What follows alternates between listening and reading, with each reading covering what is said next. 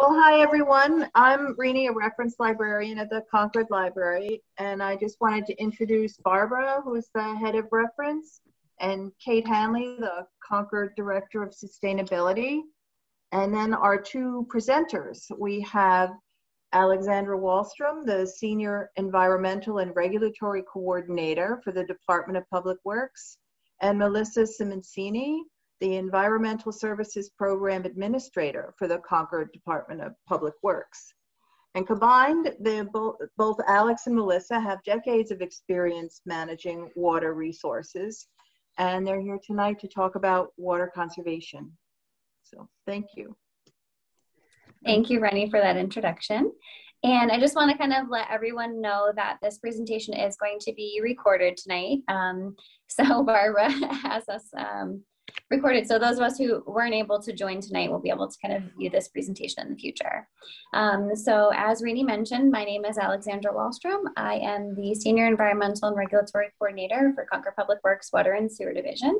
And thank you tonight for joining us for the Water Conservation in Concord program.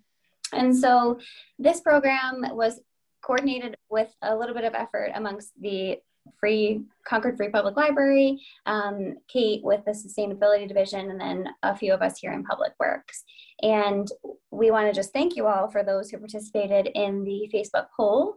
You kind of helped shape the presentation tonight. So we had a poll with some uh, different topics relating to water conservation and got some feedback on what folks were most interested in learning more about, which topics you were most interested in, and tried to tailor the program to touch on those things a little bit. Um, so next slide, please, Melissa. Perfect. So just a quick introduction. Again, I'm Alex Wallstrom. Um, Melissa is going to be joining us as well. She was the Senior Environmental Regulatory Coordinator for close to a decade, kind of before I inhabited the role. So between the two of us, like Rini said, we've got a couple of decades of water conservation under our belt. Um, and we worked closely with Kate to um, kind of help forward some of the town's sustainability initiatives as they relate to water conservation and some other programs with Concord Public Works. Um, so we've worked together on a number of projects, and this is just kind of the latest one of the group. Next slide. Perfect.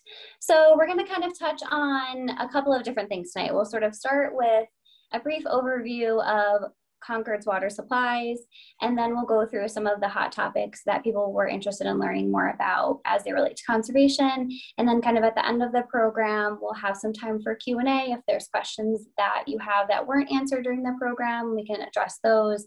Or if questions come up as we're talking about certain things in the program, we can look at those as well. So if you have questions that come up, feel free to use the chat function and we'll be able to kind of pull those questions together at the end of the presentation. Or um, if you don't have access to the chat function, we can certainly allow people to kind of unmute themselves and ask questions at the end of the program. So we'll kind of start with this map of Concord's water supplies. So for those of you who aren't familiar, we have a variety of different supplies in town to kind of have a little bit more resiliency and robustness in our portfolio. So about 95% or so of the water that we supply to Concord's customers is from groundwater supplies. So we've got six groundwater supplies and we have one surface water supply, which is Nagog Pond, that's technically located in the towns of Acton and Littleton. And that supply is primarily used uh, kind of in recent memory for adding some of the supply that we can't meet with groundwater sources during the summer months where we have increased water demand. And then you'll see that we also have two reservoirs. So we've got the Annursnac Hill Reservoir and the Pine Hill Reservoir. And those reservoirs serve a couple of functions for us. Not only do they store water when we are not using it. So we're still pumping water from our supplies overnight when folks aren't, you know, necessarily using too much water, showering, those types of things. So we'll send up water for storage into those reservoirs. And then the reservoirs also will help us because they will provide water pressure that we have in town.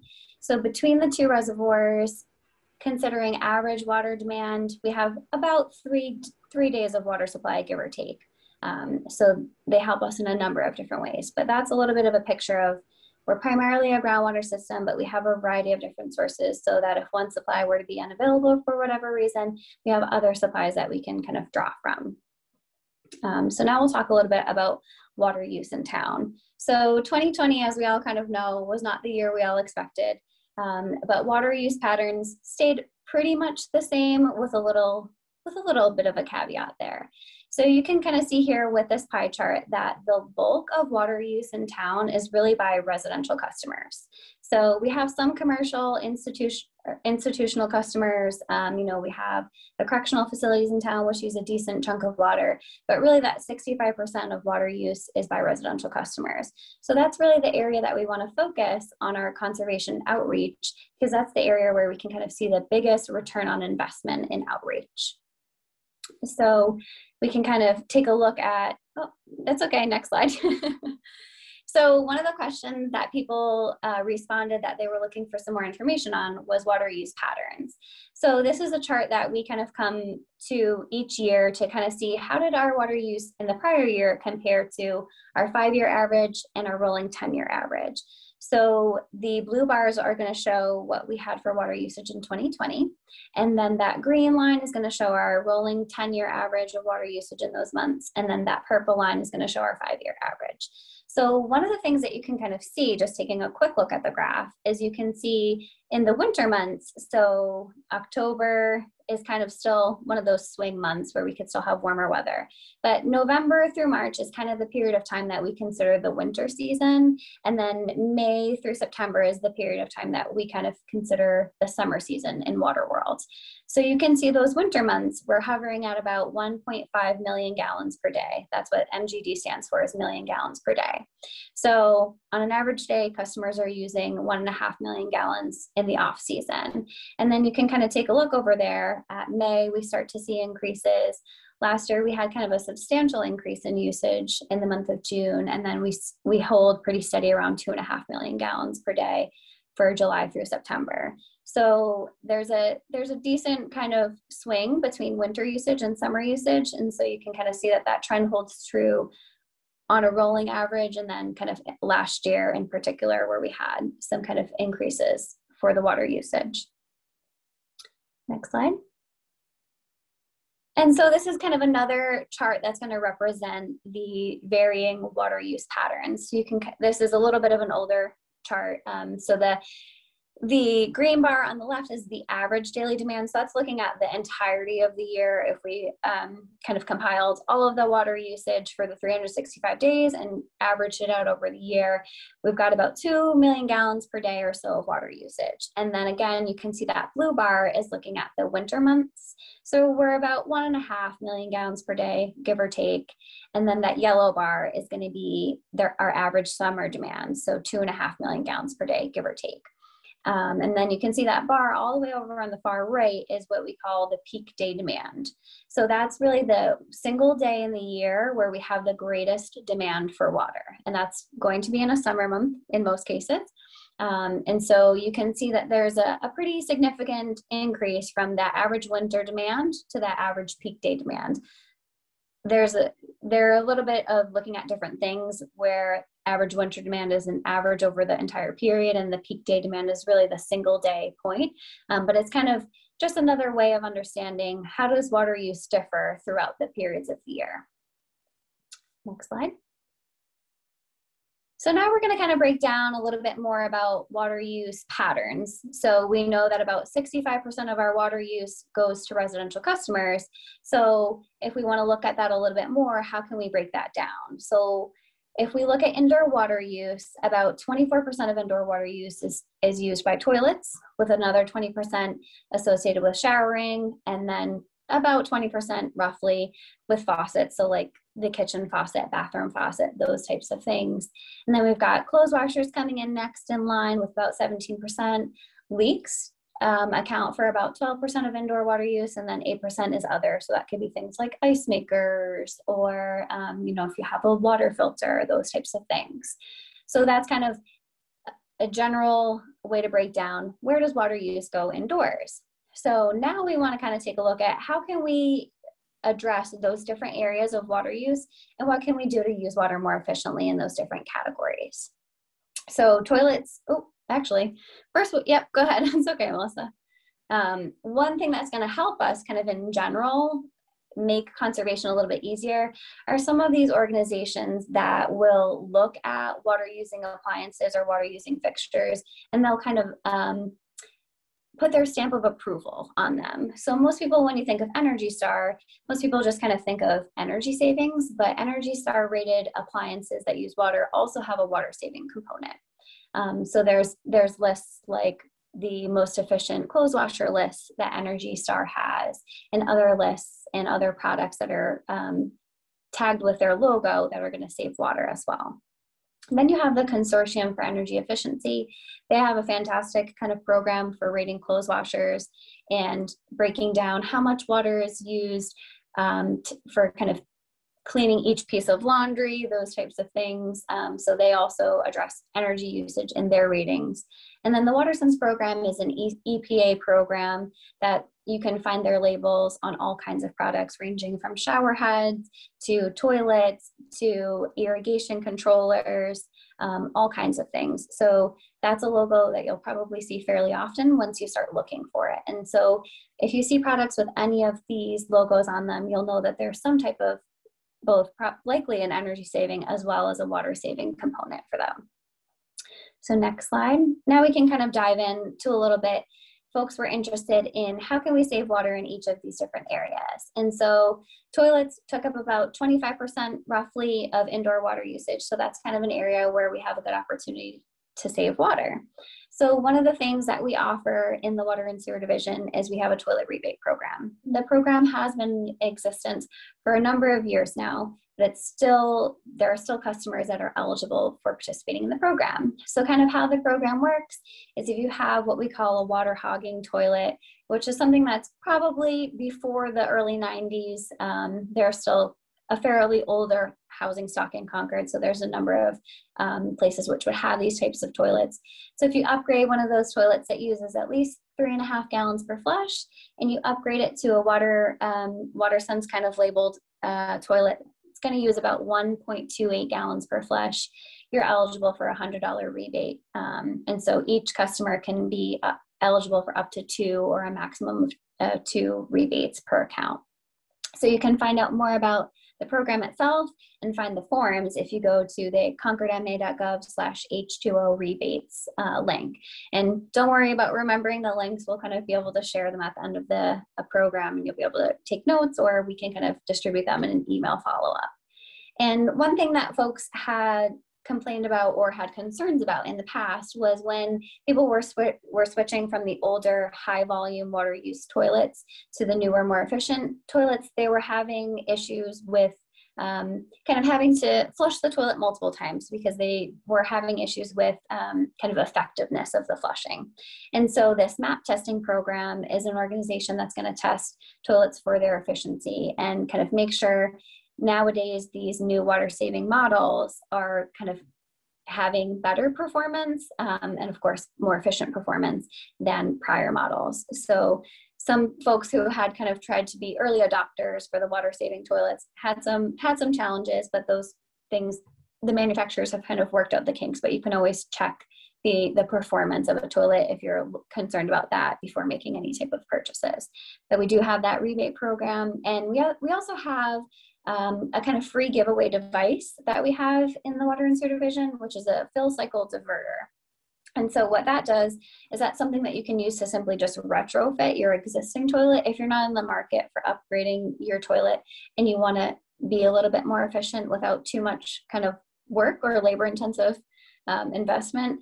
It's a simple little kind of plastic device that will divert more flow into filling the tank and less flow into the bowl of the toilet which doesn't impact the performance at all, but it will just kind of um, have less water going down the bowl. Um, and so that's a simple way that you can conserve water with your toilet as well. So next we'll take a look at showers and faucets. Those are the next kind of higher users inside the home. And so timing is everything. Um, shorter showers are going to obviously save water. Turning off the faucets when you're brushing your teeth, or you know when you're um, doing a load of dishes, those types of things. Timing is definitely important. So another free giveaway we have is a shower timer. So it looks kind of just like this little sand timer in the center of the screen here.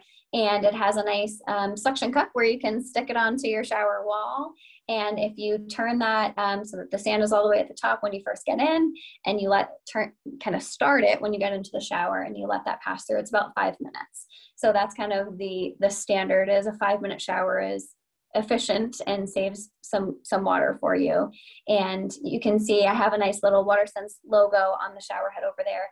That's a great device that had that watersense has a number of different models that you can find at your local hardware store some of them are down to about 1.75 gallons per minute older models might have been three or four or even five gallons per minute so you can save a significant amount of water by switching to a WaterSense labeled shower head. We also have those available for free giveaways in the office. Um, so we do have some water conserving shower heads that you can try if you're not sure. If you're not super picky about the way it looks, um, the ones we have are, are nice looking, but everyone's got different style, right? So those are something you can try out quickly and say, okay, I have multiple showers. I want to try one and see how it works. And then you can kind of make the decision if that's going to work for your family um, there. And so next slide. Now we're gonna make our way over to clothes washers. So we also have a rebate program for high efficiency clothes washers. So the Energy Star logo I mentioned earlier, the Energy Star program does have a most efficient list of the year, which they update regularly, and they have one for clothes washers. So for the rebate program that we have for clothes washing machines, it, you can submit an application for a rebate of up to $150 credit on your water bill. And you, in order to qualify, the model that you purchase just needs to be on the Energy Star current most efficient list. So when I last checked the list this morning, there was about 35 or so different models on there. So there's well-known manufacturers. Um, there's a variety of different opportunities for choosing a model that's going to work for your lifestyle. But that list kind of what the Energy Star most efficient list aims to do is kind of try to pull out models that have superior efficiency, but also have some kind of innovative technology. So they're constantly updating that list and coming up with new and improved models that are going to save both water and energy. Um, next slide.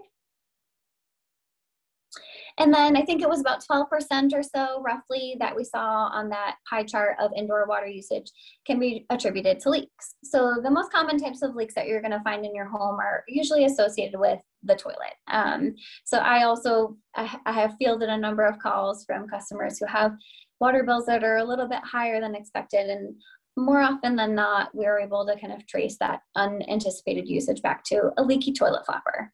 And if you're somewhat handy and you feel comfortable tackling a, a small fix, it's usually a fix that you can do with, you know, a quick part from the hardware store for $5 or less and save some water in your house. Um, of course, dripping faucets and some leaky valves are going to be other things that you might want some professional help to take a look at, but those are kind of the common sources for leaks inside. And so something that we have at the Water and Sewer Division is a toilet leak detection kit which sounds kind of fancy, but it's pretty much just a couple of dye tablets that you can put into the tank of your toilet. And if you drop in one of these tablets into the tank and you don't use the toilet, and you wait about 15 minutes or so, if you see any of that color dissipate into the bowl, then that's going to indicate that you have a leak somewhere in your toilet and you are going to want to get that prepared and, and you'll be able to save yourself some some money there if you don't have access to a the special tablet, you can just use food coloring. Um, and then another thing to kind of uh, be aware of is your water meter can be a helpful tool in helping you find household leaks. So if you get familiar with your water meter, some of the older style ones will have what we actually call a leak indicator. So it's a little triangle, it's usually red. And if that dial is moving when you know that there's no water use going on in the home, that can indicate a potential leak. So something's using water that you're not anticipating. Um, and I like this graphic here on the right that EPA's WaterSense program kind of pulled together and just shows that leaks account for an estimated 1 trillion gallons of water throughout the, the United States. So it's a, it's a a big issue and you know just kind of getting like i said getting familiar with your your water meter and knowing um, signs to spot and look for leaks. Um, again those toilets are the most common culprit in, in older um, models. And you can save up to 10% on your water bill if you're able to track down one of these small leaks. Um, so it's just a good thing to kind of be aware of. Next slide So that's a lot of information about indoor water use. And now we're going to switch gears a little bit and talk about outdoor water use. So we're going to revisit this chart that we saw earlier, which shows average daily demand, winter, summer demand, and then the average peak day. And this kind of, when we're framing it in the, the lens of outdoor water use, um, it helps us realize that the main difference of what's going on for water use between winter months and summer months is really that outdoor water use. So if we consider winter demand to be essential water use, we can consider that difference between winter and summer to be non-essential water use. And so things that we have to consider are you can see these additional kind of lines up here on the chart. So you can see that green dash line that says summer pumping capacity. So in the water and sewer division, we kind of have to be aware of what supplies do we have that are operational? Are there any supplies that have maintenance needs? Um, and we try to do all those things in a way that we can avoid hiccups in the summer months, but sometimes that's not um, entirely feasible. And mechanical issues can happen at any time. So that 3.1 million gallons per day is if we were to lose one station, we can reliably provide about a little more than 3 million gallons per day. Well, we might run into trouble if we're in the summer months and we're, we're in the period of time where we're expecting average peak demand because we might not be able to pump that much. So next slide. That's where we come into water use restrictions. So I'm hoping that you all have seen this seasonal water demand management plan before, but if not, I'm gonna give you a brief tour. This plan was updated most recently in the spring of 2017 in an effort to kind of make the plan a little bit more accessible and understandable. So when we revised the plan, we focused on lawn watering um, because that's really the biggest outdoor water user where we have the most trouble kind of keeping up with demands attributed to lawn watering. So you can see we have adopted the green, yellow, red stoplight kind of um, program here. So in green, we have the seasonal water conservation advisory, which we're, we want people to be mindful of their water use. So the recommended lawn watering is one day or one inch per week. Um, and then things like watering your, sh your shrubs or your flower, flower bed or garden or things, that's all fine. You can fill your swimming pool we want you to be cognizant of your water use, but we're not in a position where we're super concerned about being able to reliably, consistently provide water. Now, if that were not the case, and we were, let's say, it had been a period of time where there were um, extensive high temperatures, lack of rainfall, or if one of our supplies were to be in need of maintenance or to have a mechanical failure, we might bump up to that lawn watering restriction, which is a mandatory restriction for one day per week of watering. Things like watering your um, your vegetables is still okay um, because that's something you're going to be doing kind of hand watering. Uh, filling up your swimming pool, not the best timing, those types of things. Um, and then if we were really in trouble with being able to kind of meet demand, then we can be looking at a lawn watering ban. Um, so that would be a complete prohibition on lawn watering. Um, and so we'll go to the next slide and kind of see what are the triggers for changing the levels of the seasonal demand management plan. So one of the, the triggers is really the calendar. So the seasonal demand management plan goes into effect each calendar year on May 1st and it goes through September 30th. So every year on May 1st, we're in that green um, conservation advisory. I shouldn't say every year, but we we plan to start the year in, in the conservation advisory. So things that could trigger um, kind of bumping up that level of restriction, so going into a lawn watering restriction or going into a lawn watering ban could be a number of different things. One of which could be last year, like we were in the drought. Um, so it could be kind of environmental triggers or regulatory triggers. So some folks have permits where the state says, okay, if the if there's a drought declared in your region, you have to restrict um, lawn watering to one day per week or to not at all. Um, we last year we went into a water use restriction. I think it was about two days before this the the significant drought was declared in the Northeast region. Um, so we were kind of in keeping with that environmental trigger. Um, other things that can trigger it are going to be maintenance. So simultaneously last year, one of our supplies did have a mechanical failure. So we were both in extensive dry periods and we had a supply that was unavailable for maintenance.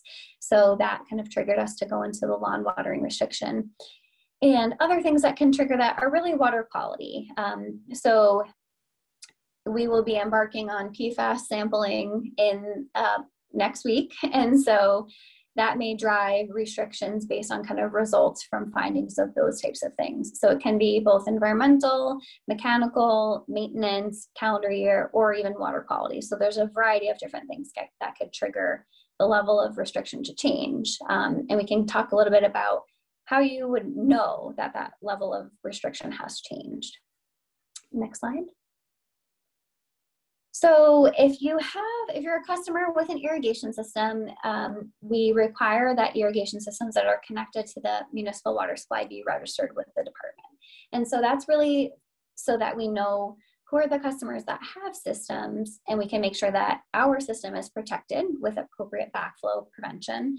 And we also want to know who are the customers that have the systems so that if we do need help um, reducing water usage we can provide some targeted outreach to those customers and remind them okay we're in a water use restriction or an outdoor watering ban um, so we can get the most bang for our buck with our outreach. Um, and so again, if you are an irrigation customer and we were to go into that one day per week lawn watering restriction, the day per week that you're allotted for watering is going to align with your municipal trash pickup.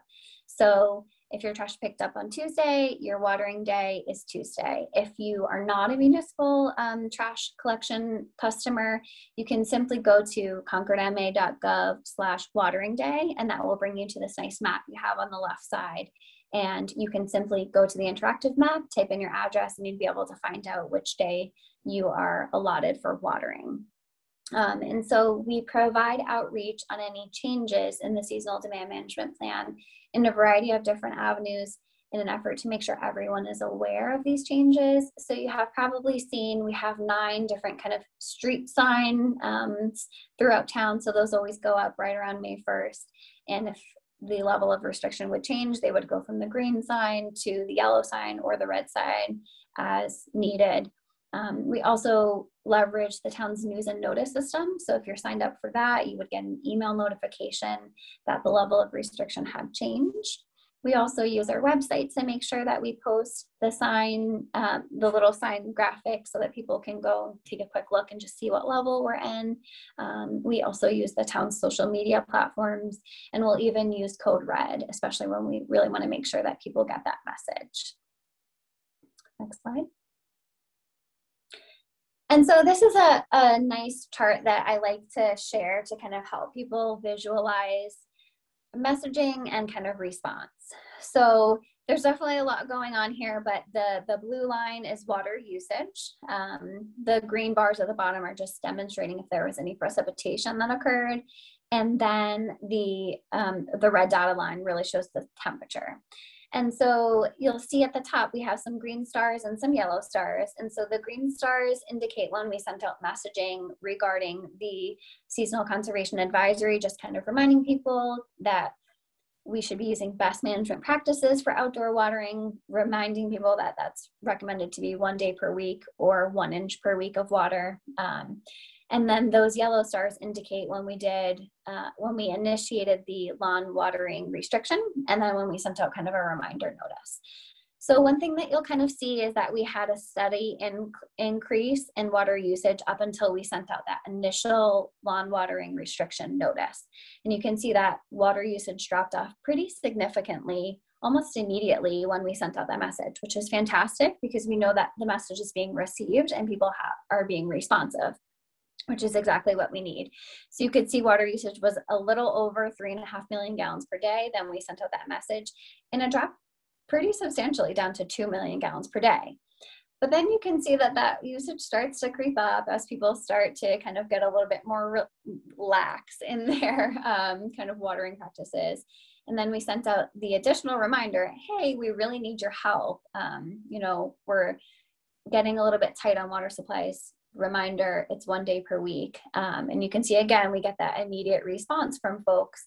But then the water usage kind of tended to jog up and down a little bit. So what we're hoping to do is kind of provide education and kind of reach those customers that do have irrigation systems because those are really the ones um, who are able to help us make that largest dent in water usage and kind of get consistent response as opposed to kind of just an immediate response and then relaxing of practices. So I feel like it's just a helpful graph to sort of have an idea of what does water usage really look like over the summer and, and how effective is our messaging in getting people to kind of um, get on board with what we're asking them to do. Next slide.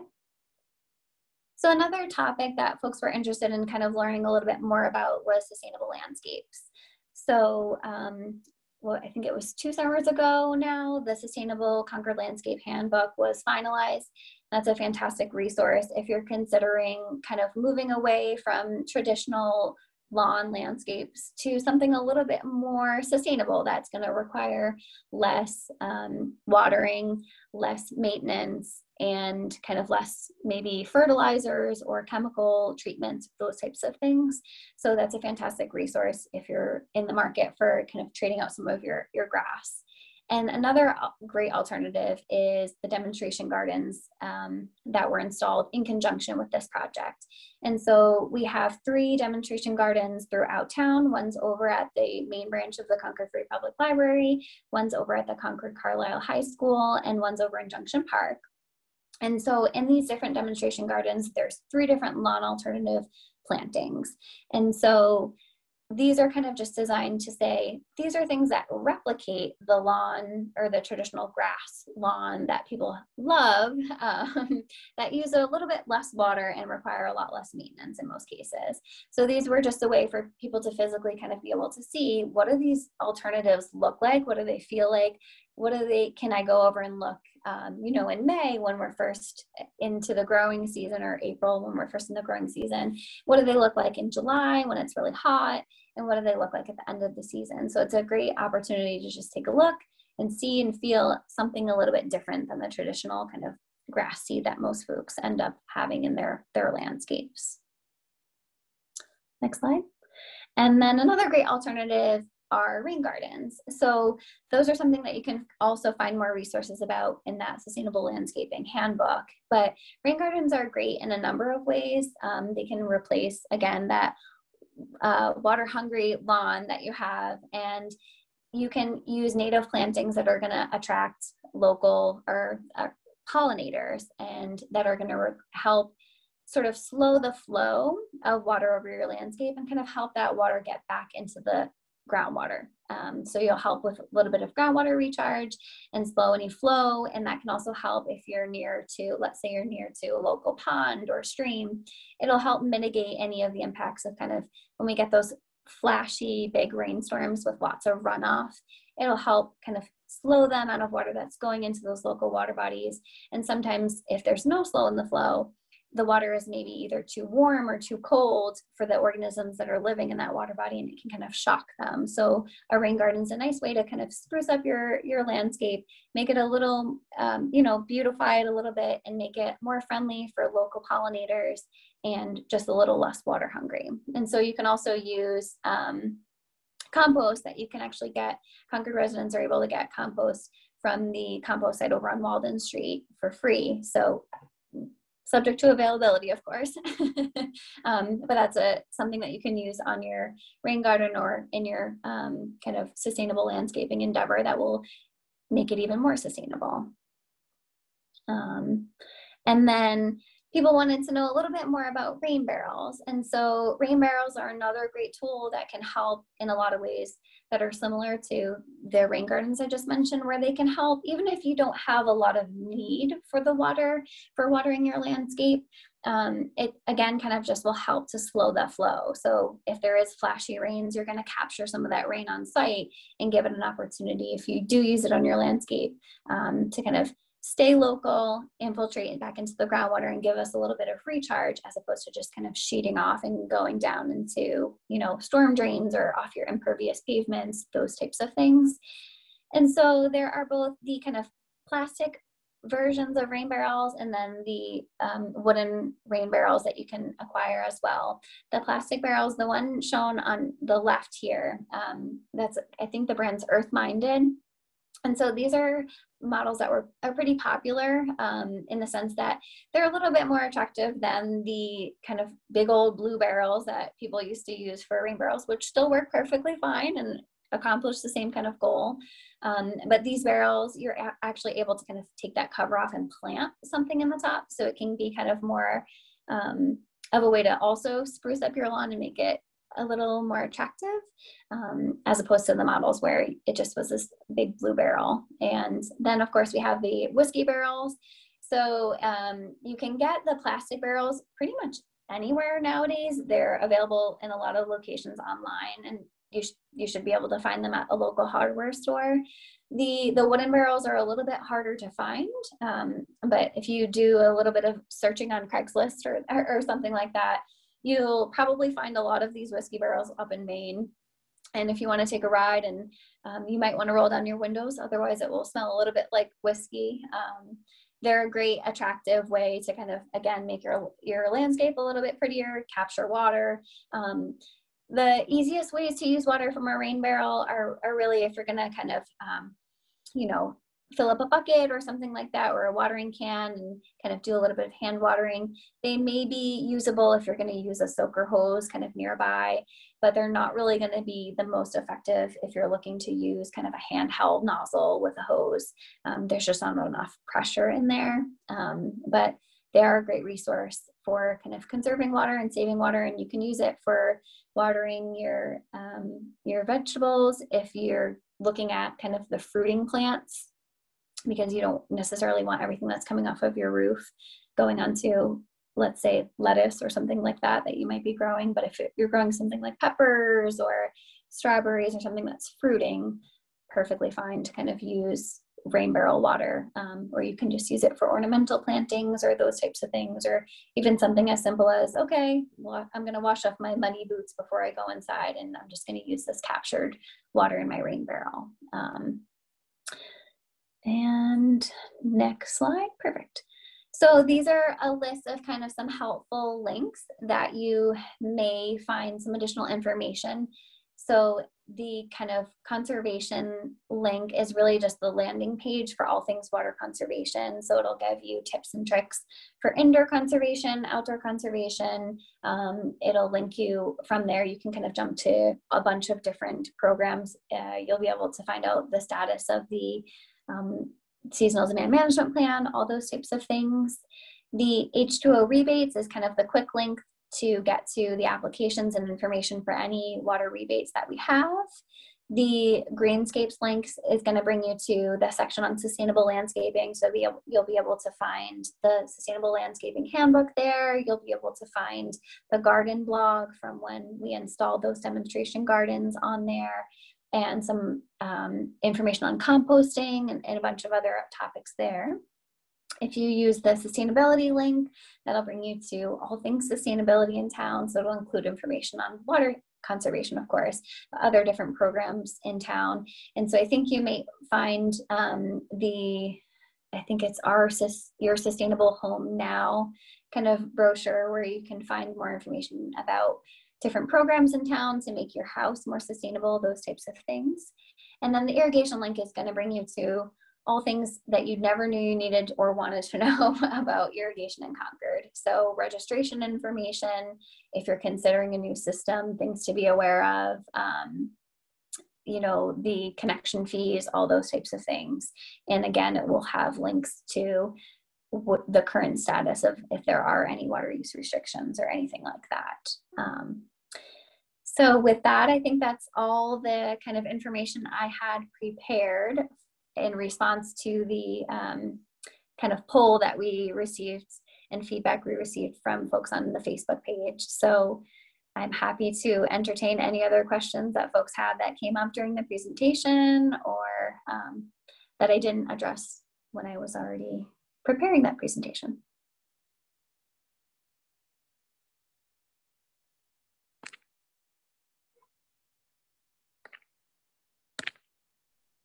You had a couple of questions in the chat.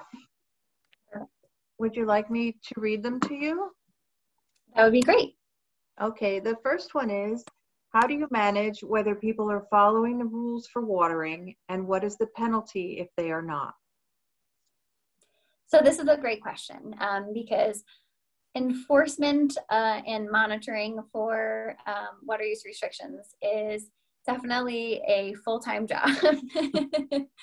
so we have the list of, it's at last count, it's somewhere around 900 or so registered irrigation users. So we kind of have a list of folks um, who we know have systems.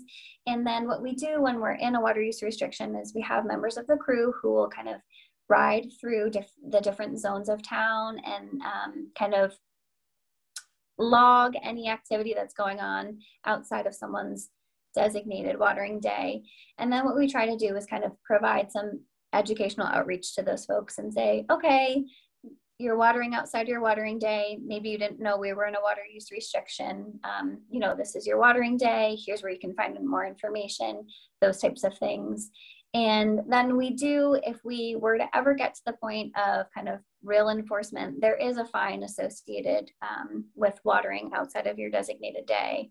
Um, but we really try to keep the campaign as much as an educational opportunity because it's typically that people just either aren't aware or weren't able to change their controller or something like that, um, as opposed to kind of more intentional um, watering outside of their day and just making people aware of why we have a water use restriction. We really want to make sure we have the water available for essential uses.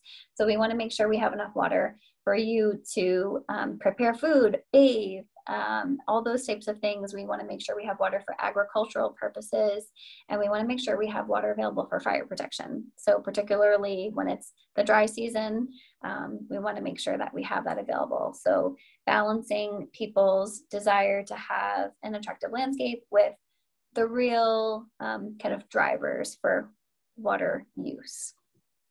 All right, thank you. Um, the next question is, which is better for water conservation when it comes to vegetable gardens? Hand watering or I think it's going to be drip irrigation, I think I recall. Yeah, drip irrigation. Okay, I might lean on Melissa for a little bit of feedback for this since she's more expert at this than I. Sure, happy to help, Alex. Um, it the question it's a very good question. It's kind of a catch 22 almost. So drip irrigation is fantastic because it gets the water to the roots where the plant really needs the water. But often drip irrigation is hooked up to a timer and is often a pressurized system and is always pressurized. So it's very prone to having leaks. You know, it's all made up of plastic parts. Those plastic parts um, fail pretty easily, especially when there's big temperature changes and they're outside. Um, and then it's often a set it and forget it and doesn't come with a rain sensor. So, you know, it could be going off every day when you don't need it. Um, on the other hand, when you are hand watering, it might not necessarily be getting the water to the exact area that it needs to, but because you're sitting there physically holding a trigger, you're probably not going to use as much water as you would if you just were on the set it and forget it mode. So catch 22, um, it's really um, how you think you can best manage and monitor your own system. Yeah, that makes sense too. Um, the next question here in the chat is, do households with irrigation systems on average use less or more water than other households with similar acreage? That's a good question. So, um, you know, when we compare a home with irrigation to one without irrigation that is the same size lot, you can see anything from two to five times more water usage by a customer who has irrigation as opposed to one without. Um, kind of comparing those with irrigation with the same sized landscape. I don't think we've done kind of as much analysis in that realm, which could be an interesting sort of avenue for future exploration, but there is definitely a marked difference between those with irrigation and those without, even though they have the same sized landscape. Okay. Um, this next one says, I live in a condominium that draws its irrigation water from our own well. How do we convince residents that our landscaping still needs to conserve water on climate driven restriction days? So that's a great question and kind of brings up a, a good point that I didn't mention, which is that kind of the water use restrictions apply currently to those who are connected to the municipal water system. And so I think something to kind of keep in mind is that we are all interconnected as far as our local watershed. So even though you may be have you may have your own private well for supplying irrigation water, that's still going to have an impact on the local water resources. Um, so if our, if our region is in a drought, it's not specific to the areas around our water supplies. It's really specific to the region. And so we in Concord, we are part of the, the Concord River watershed um, basin. and that's considered kind of a groundwater stressed basin. So what we do in Concord kind of affects other communities in the region. So anything that we can do to conserve, whether it's kind of for um, benefit or addressing municipal water supply concerns or private water supply concerns is really going to help the local region and not just specific to Concord. So it's really um, going to have an impact wider than just our own doorstep type of thing. The next question seems oh. related. Oh, I'm sorry. sorry, Rennie. I just wanted to add kind of something that a lot of people don't think about when they have their own private wells is that often on the days that you need the most water is when it's warmest out. And when it's warmest out, most people are also cranking their AC. So most of those days are also peak energy use days. So when you're conserving water and you have a well, or even when you don't have a well for that matter, because it takes us water uh, energy to pump, but um, you're also conserving energy because producing that water and bringing it to your home takes a lot of energy. We're probably what I think the one of the top 10 energy users in the community. So by reducing the amount of water that you either use from the municipal side, municipal supplies or your own private wells can really help the town achieve their peak shaving goals. That makes sense. I wouldn't have thought of that. Um, here, this question adds, some Massachusetts towns have bylaws that restrict households with private wells to the same non-essential outdoor water use as the households on the public water supply. Does Concord have such a bylaw or might it be under consideration? We don't presently have such a bylaw. There is kind of interest throughout the Commonwealth in kind of trying to align restrictions um, that apply to municipal customers as well as private customers, um, but that's not something that currently exists in Concord. All right, looks like a couple more questions are coming in the chat here. Um, this one is, you mentioned you will begin PFAS sampling next week. Will that date be made public? And if so, how? Um, the date of sampling is really kind of um, an internal uh, deadline that we set. We have to sample in the month of April. Um, we're just kind of trying to get the sampling completed um, as part in conjunction with Mass DEP's sampling program. And the results of the sampling program will most certainly be made public once they have been kind of received and quality control information has been vetted and all that type of stuff, we will most certainly make that information available to our customers. Yep. Okay. Um, do you think everyone knows what PFAS sampling is? Um, so PFAS is the acronym for polyfluoral alkyl substances or per and polyfluoroalkyl substances.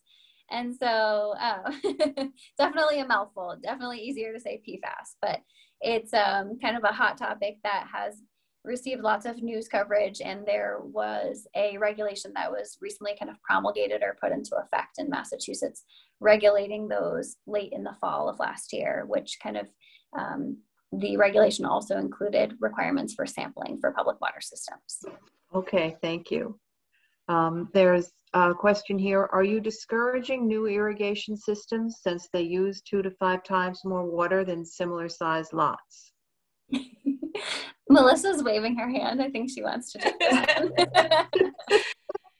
um, it's it's a tough question and kim i absolutely agree like i wish i could tell everybody no please don't and i wish there was a regulation but unfortunately it's not that easy so what we do have is that any new home um, that uses 30 gallons um, per minute or more which is any home with an irrigation system um, we have them do what's called a water use impact report.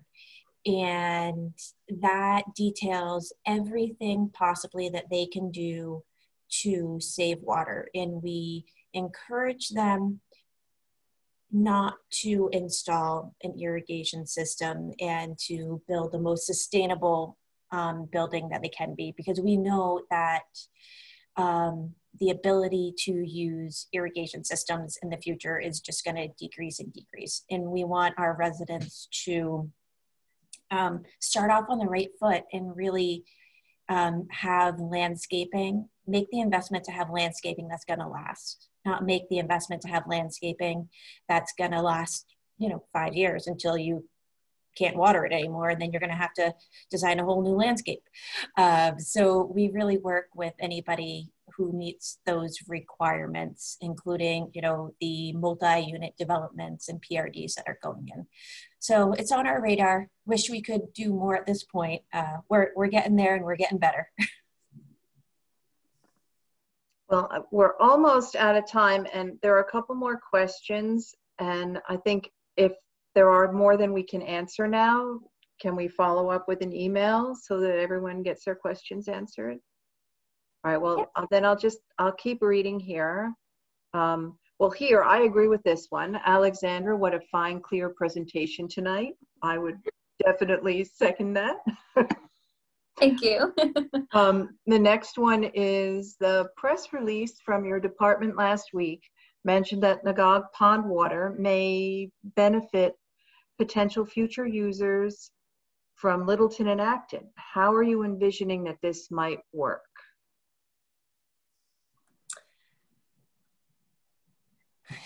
Um, it's, you know, Alex, both Alex and myself haven't been really involved in a lot of the um, water rights litigation that has been going on um, over the last five years between with Concord, Acton, and Littleton. Um, we'd Kim, we'd be happy to chat offline with the water sewer superintendent John Rogers and Alan Cathcart. Um, I just don't want to provide you with any misinformation at this point, but um, happy to assist and help make the connection. Well, here's another one that says, Melissa too, thanks, such important information. so, thank Thanks, you. Judy. And let's see, here's, there's, oh, there, there are quite a few more here. Maybe, do you want, it's two minutes to eight. Um, how do you think we should grow? Just answer the rest by email, I think. Let's um, let's, can you see them now or? I mean, yeah, and I think the one that um, a couple people were kind of uh, questioning is, will be we will we be in drought this summer? And chances are, yes. Currently, we are not, I don't believe, but I believe there is a drought management task force meeting within the next week to evaluate our current situation. Um, I, my best guess, if I'm reading the crystal ball, is that most likely this year we'll probably start off in the yellow with lawn watering restrictions um, because we are working with a lot of maintenance um, issues right now that we're trying to address. We are venturing into the PFAS or emerging contaminant sampling um, in the next month. And so I wish I had a crystal ball to say that no, everything will be good and we'll have plenty of rain to sustain our landscapes. But at this point in time, I would plan on most likely starting off the year in yellow. Well, I want to thank you both very much. I learned so much, and I think you did a great job, and I really appreciate it. And the library appreciates it too. So thank you. It was great. Great work. And we Thank can you. follow up with an email to everyone with the links included. And um, I think, Barbara, we were going to capture the rest of the chat. so Yes, yes, I have it. answered. Mhm. Okay. All right. Well, I, I think that's it. It's eight o'clock now, and I thank you all for coming. I really appreciate it. And we do have the Your Sustainable Home Now brochures out front at the library. Kate gave us some there, so you can swing by and grab one when you're getting your curbside pickups. Wonderful. Thank you so all, much. and thank you to Rennie and Barbara for the opportunity, and Kate for all your continued support with all this fun stuff. Thanks, everyone. Thank you you. both. Thank Thank you. Have a good one.